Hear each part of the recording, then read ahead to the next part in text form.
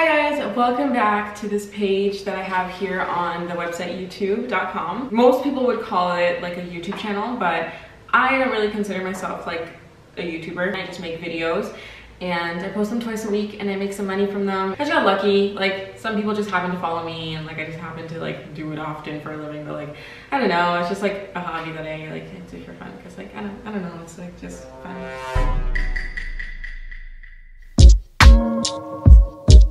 I know we all do it. We all do it. If you're clicking on this video and you're watching me right now, you're probably pretty familiar. If you clicked on this video, you're probably guilty of having imposter syndrome. What is imposter syndrome? You might be wondering. You might have just heard the term and be like, that sounds like me, and then decided to look it up. You might have been very familiarized with it, or you might literally just like not know what the fuck it is and ended up clicking on this because you thought it was an Among Us video. Either way, you're here for a reason. So imposter syndrome, to put it simply, someone that I watched a TED Talk on referred to it in the best and easiest way. It's like having a shitty best friend in your head at all times. Having that toxic friend that's always putting you down and making you feel like your achievements aren't worth shit. If you have imposter syndrome, some phrases that might feel familiar to you are, I feel like a fraud, what am I even doing here? Am I even qualified to do this? Do I even know what I'm doing? In situations that you're perfectly qualified and capable to handle. Before I even get into it, I wanna give you the perfect example of someone who has imposter syndrome. Me. I have issues. I have some serious issues. I have a very hard time owning what I do. And I do a lot. I'm pretty cool. And I just have the hardest time like just coming to terms with that and realizing like, okay, you know what? You did some shit in your life, Ashley. I'm a YouTuber, I'm an author, I'm a business owner. Feels weird saying all those things. I'm not used to that. I do things online and I make money off it and that's how I pay my bills. I have a published book that's available nationwide online, Amazon, Target in stores, Barnes & Noble, Indigo, everywhere you can really buy books. My book is there, which is crazy. I have a YouTube channel with almost 200,000 subscribers and then I have this one that I'm currently growing with 5,000 subscribers. I have a website called zodiachaven.com where I design and sell merchandise and apparel and I make some money off of that and I work with big brands and I do some shit, I guess. but the funny thing about me is that up until a week ago, if you ask me what I do, this is what it would sound like. So how long have you been driving Uber? I would say like two years probably. Yeah, yeah. Pays the bills, you know. Okay, nice, nice. What about you? What do you do? I mean, I do like a few things, but mostly I guess I'm like a digital creator and I guess you could say like I write a bit. Cool. You write like articles online or something? Oh no, like I create content online. What kind of content? Oh, like online online videos and stuff. Oh, okay, like YouTube videos? I thought you just said you, you wrote. Yeah, yeah, yeah, YouTube, YouTube, yeah. But like, I mean, I also like I wrote a book. No way! Oh my god, I love YouTube. And like, what about the book? Is that like published or something? Yeah, yeah, it's published. Why didn't you say that? You should be proud. That's really cool. Thank you. That's now. That's me feeling overly cocky. I'm like, oh my god, am I bragging? Like, I feel like I'm like lying or bragging or just trying to impress people by saying these things when in actuality, that's just my reality. But if you ask me two years ago what I did, I was working a part-time job and I was going to school as well. And I was doing all these things on the side. I was writing my book at the time. I was still a YouTuber, verified, making money, like all that stuff, over 100K. Like I had a pretty good life.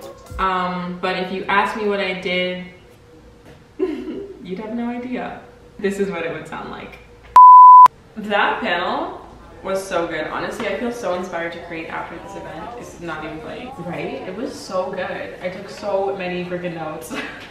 what do you do? Well, I mean, I'm a photographer, obviously. So many different things, videography. But also designers that I'm really into, like, you know, like old filmmaking. I'm a very creative person overall. Sorry, I just went off on a whole rant. But um, yeah, what do you do? I work at Rogers. I sell like phones and stuff and I go to school. Oh, okay, nice. What school do you go to? Oh, I go to York University. That's cool. I know a friend that went there. Um, I heard it's a good school. But um, yeah, that's good. I hope everything goes well for you. It was nice meeting you. Um, I guess I'll see you around. but yeah, take care, okay? Take care. Thank you. Oh my god, I did it again. I wanted to be humble and I missed an opportunity to tell her what I do. I could just I could just tell her I do YouTube and I mean I, I oh shit, she's like really walking away now. She's really far. Okay. Okay. Um wow. Wow, that could have been a really, really good partnership, networking opportunity, friendship, potential business partner. But I wanted to tell her that I work at Rogers and I go to school. I hate my job and I hate my school. Why did I do that? Why didn't I just tell her what I do? I'm, I'm sick of myself. In fact, it was so bad that I hit 100,000 subscribers on YouTube and my parents didn't even know that I had a YouTube channel. They were wondering how I was making all this money going to work once a week for five hours. They didn't know anything about anything because I felt like, why would I tell them if I'm not successful yet? Why would I tell them if I haven't really decided I want to do this yet? It was the most ridiculous thing ever and let's talk about it. So imposter syndrome, let's put the glasses back on because now I'm ready to teach. So let's talk about some feelings that are associated with imposter syndrome. If you think you have it, you probably will resonate with some of these feelings. Perfectionism, fear of failure, self-doubt, and anxiety. When you have imposter syndrome, you constantly feel like you're not good enough, that you have something to prove, so the perfectionism really kicks in, trust me. There's usually some anxiety surrounding everything that you do because you feel like there's like this audience that's waiting for you to fuck up when in reality nobody really gives a shit about what you're doing. You tend to tell yourself there's things that you don't deserve or that you just got lucky for. I remember when I signed my book deal and people asked me like, how did it happen? How did you get published? I've been writing a book for three years and I don't even know where to start or I've seen people be an author for 10 years and they still don't get a book deal and they're like, how did you get your book deal? And I'd be like, honestly, I just got lucky. Like it just fell in my lap. I don't know. I guess it just pays off to be on the internet. No, no. There's a reason why Mango Publishing chose you, Ashley. There's a reason why they said, hey, we really like this girl on YouTube. We really think she has a great perspective on zodiac signs. We really think she's great with self-help content she would be a great author. There's so many other astrology people on YouTube, but they chose me, and that means something. Not only did they chose me, it means that I worked my ass off for three years to build a brand on YouTube that I was proud of. I worked my ass off for three years to research things that I could speak about on the internet and teach. And I also brought a refreshing new perspective to the topics that I was discussing. I was different and I put work into being this person. It's not like I just posted a video and like, got lucky. Like I put work in and I deserve to own that. And I don't want to make this video about me, but I'm trying to just give you examples on like, hey, like sometimes you might feel like you just got lucky by getting that job or you just got lucky by getting accepted into this program or no, there's a reason why you did. There is. You deserve it. Own it. These thoughts come from limiting beliefs. Limiting beliefs are all in your head. Some examples of limiting beliefs would be like, oh, I'll never get that job. There's no point in applying. they only accept 50 students in the film program per year. There's literally no reason for me to even apply. My shit's not good enough. Oh, I wanna be a model, but like, I'm not tall enough, so why bother? No, there are successful models that are 5'2". There are people in the film program that aren't that good, and not saying you're not that good. And there are people that will go after that job and you probably could have gotten it over them, but because you didn't apply, now they're gonna get it.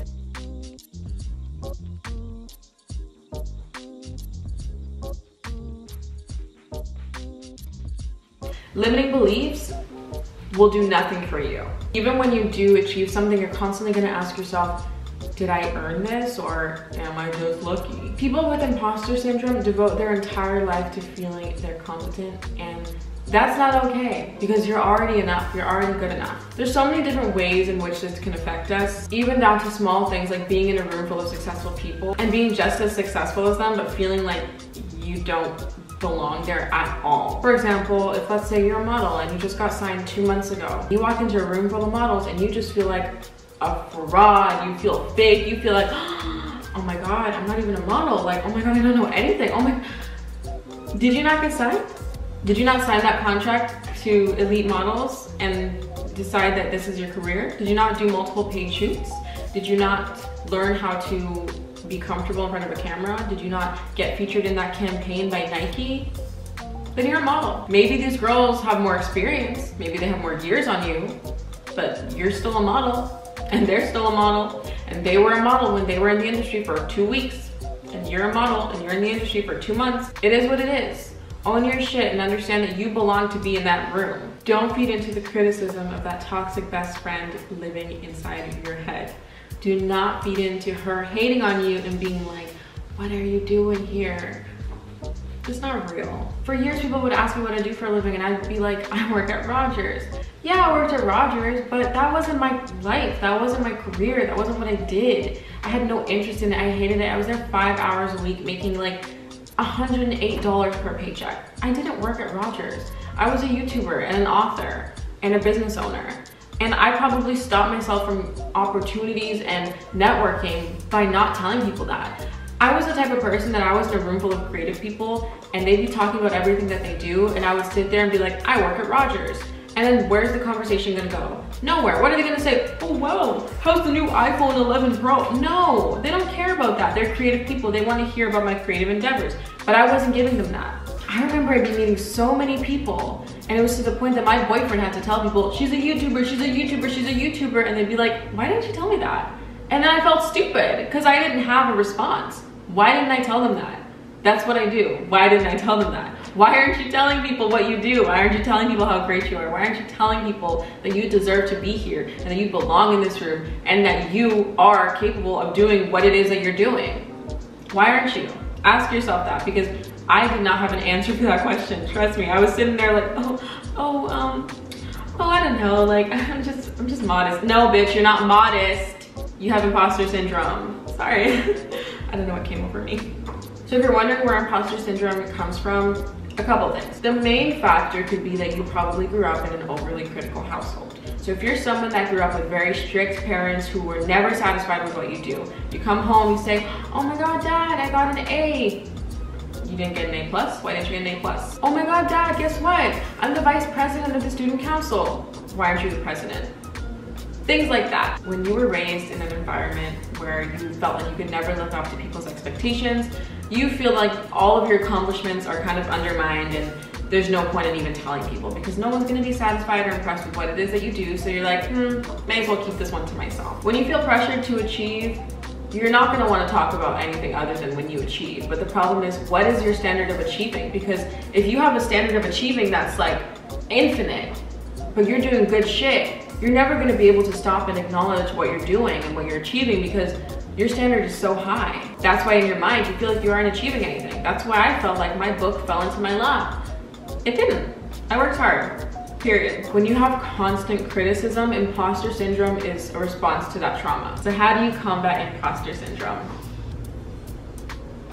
You tell yourself you are that bitch every single day. Okay, there's more to it, but there's a few ways to do it. Affirmations are really, really helpful. Affirmations remind yourself of who you are and what you have to offer. If you want some good affirmations, I would write these down and say them in the mirror multiple times a day. You might feel ridiculous. You might feel like a fraud. You might feel corny. Just keep doing it, trust me. Just keep, keep, keep doing it. Write these down. Seriously, I'm not joking. I am enough, my effort is enough, my love is enough. I am successful. I am confident and self-assured. I am great. Everything I desire is already within me. I deserve all of the abundance that is coming my way. I make the most out of the opportunities presented to me. I deserve success.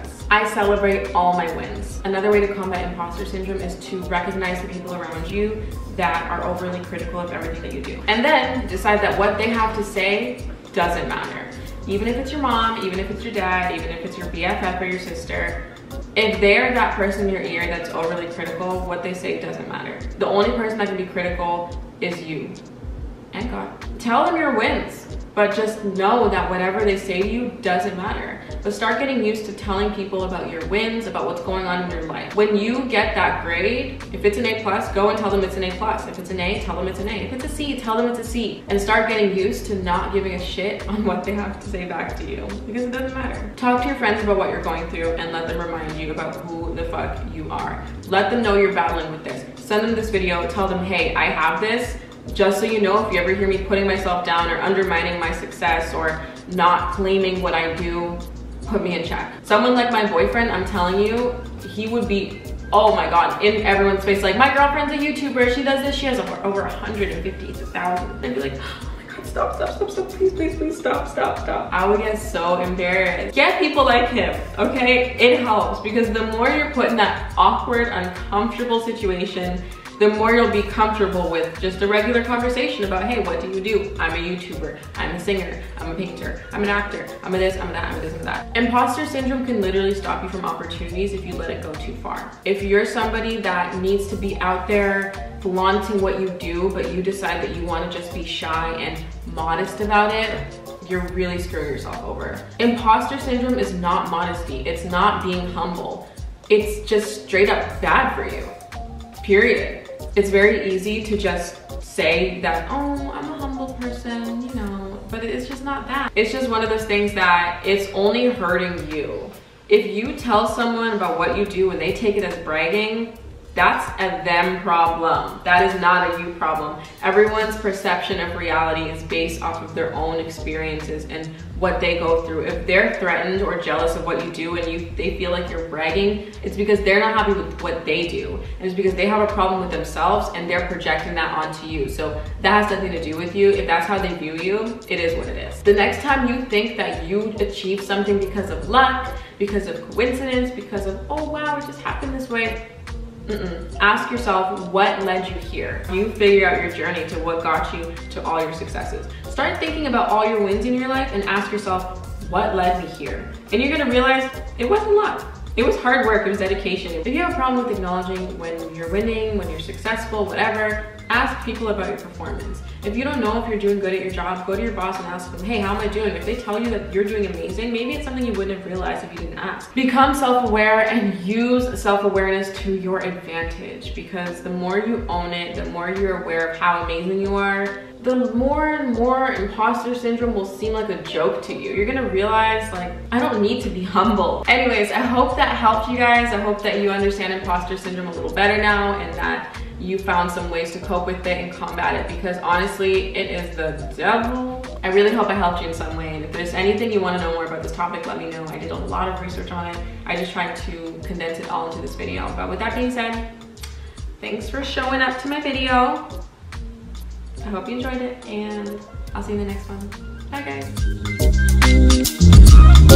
guys.